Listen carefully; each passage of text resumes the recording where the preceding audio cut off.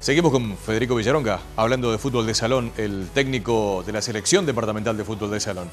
Eh, Goro, en la semana pasada, este Chapecoense se adjudicó la parte, digamos, de la divisional B del fútbol local. Exactamente, ganó en la apertura de la divisional B, eh, lo ganó de corrido, ganó todos los partidos, menos el último, ya campeón, jugó contra Huracán el último partido y perdió. Este, pero tenía alguna baja, ¿verdad? Pero eh, brillante campeón, ¿no?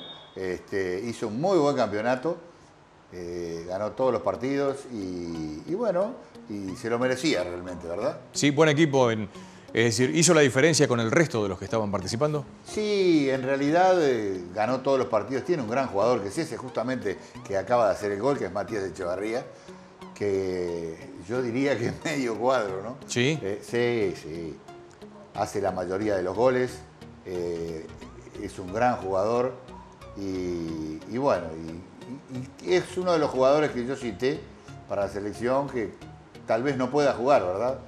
Este, porque como juega el fútbol de cancha, ¿viste? A los jugadores de fútbol de cancha no, no les permiten a veces jugar fútbol de salón, igual. Este, pero es un gran jugador. y, bueno, y ganó, ganó muy bien, ¿no? En realidad, este, el nivel no fue el mismo nivel del año pasado de la B, ¿verdad? Porque los mejores jugadores de la B se fueron para la A. Entonces, la A fue un campeonato muy parejo y muy bueno. Este, y la, S y la A, la B, perdón, se debilitó un poquito, ¿verdad? Ahí está. Pero igual, igual fue un muy buen campeonato. Eh, es una divisional que lleva mucha gente. Eso te iba a preguntar, ¿no? Es como la B del fútbol de cancha. La Liga Ferrocarril lleva más gente a veces que el Ciudad de Melo. Exactamente. ¿Y aquí pasa lo mismo? Sí, aquí pasa lo mismo. Hay muchos cuadros de barrio, la gente de barrio lo sigue. Este, ahora habíamos armado un poquito porque, claro, con los fríos y la lluvia, ha llovido claro. todo julio. Por más que sea techado, pero... Claro, pero a la gente le cuesta salir con frío y con lluvia. Me armó un poquito. Pero siempre hay, siempre hay gente mirando los partidos. Te digo más, este, hubo una gente que había hecho, había hecho un estudio ahí a ver cuáles eran los deportes que llevaban más gente. Eh, coincidió en que el fútbol salón era el que llevaba más gente en realidad. Mirá. Porque, claro, son tres, cuatro días por semana que se juega y eran 200, 300 personas que iban al gimnasio normalmente.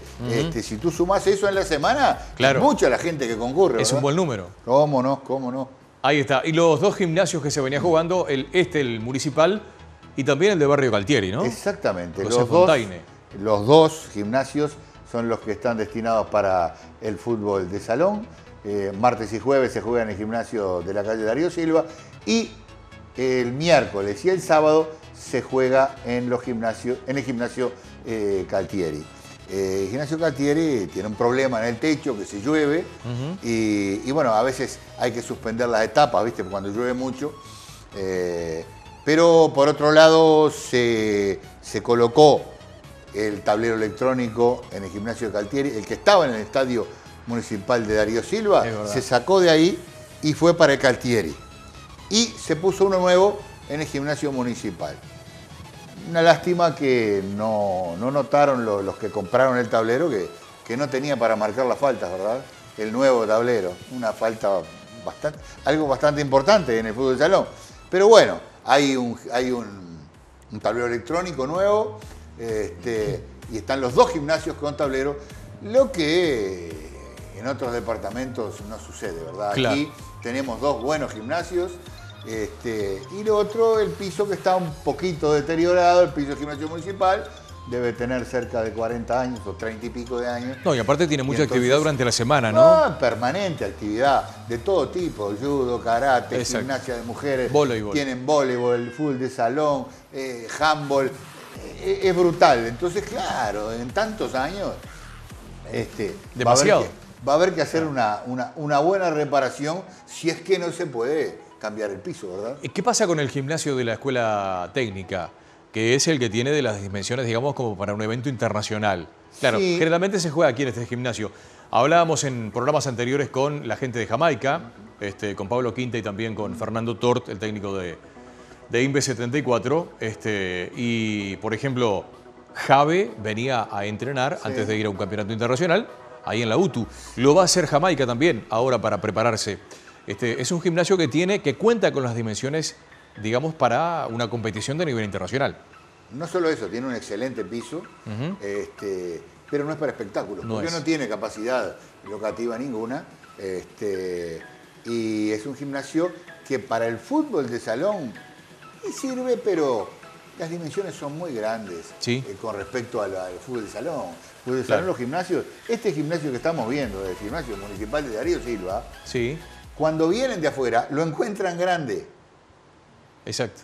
Porque los gimnasios normalmente son mucho más chicos, pero mucho Y la gente está más cerca también. Está mucho más cerca. Tú vas a 33, vas a, a, Mina, vas a, Pando, vas a, Rocha, donde vayas. Son chiquititos, son muy chiquitos. Y cambia mucho el juego, ¿eh? y sobre todo la táctica de juego y la, y la estrategia, en un gimnasio chico que en un gimnasio grande. Es diferente. Es, totalmente diferente. Yo no quiero decir que no sirva, es fantástico y es brutal que tengamos un gimnasio como ese. Porque la gente que va a jugar campeonatos eh, donde se juega en ese tipo de canchas de 20 por 40, esa gente necesita practicar en ese tipo de gimnasio. Exacto. Que era lo que tú me decías de Jave. Jave venía porque en 33 no hay un gimnasio de 20 por 40. Son todos chiquititos. Entonces, venía acá. venían a practicar acá. Claro. Eh, en cuanto justamente a este campeonato este, local, ¿no? De, que Chapecoense se adjudica, este, muchos partidos se han jugado también en la semana, es decir, prácticamente que arranca el martes y sigue hasta el jueves. Y después vuelve el domingo de vuelta. Este Creo que para hacerlo lunes y viernes, una cosa así, o el sábado este, también. Este año ha cambiado la modalidad. ¿Sí? Antes se jugaba la B, terminaba el campeonato de la B y se jugaba el campeonato de la A. Este año se juegan los dos a la misma vez. Claro. A y B. Entonces, ¿qué pasa? Eh, eh, el martes y el jueves, que es en el gimnasio Darío Silva, hay partidos de la A y de la B. Y los jueves y los domingos, que es en el Caltieri, también hay partidos de la A y de la B. Porque eso está regido por eh, la cantidad de puntos que tengan los, los cuadros que se van a enfrentar. Si tienen un muy buen puntaje, van a Darío Silva. Si el puntaje no es muy bueno entre los dos, van al Galtieri. Y ahí se va este, mezclando eh, los partidos. Ahí está. Eh, sí, en realidad lunes y jueves no hay fútbol de salón. Este, y jueves, perdón, lunes y viernes. Y viernes, ahí está. Y después, los sábados, está el campeonato nacional, que a veces se juega y a veces no. Por ejemplo, este fin de semana no hay nada acá, claro. porque juegan en Rocha y en 33. Pero normalmente los sábados siempre hay actividad, ¿verdad? Hay actividad.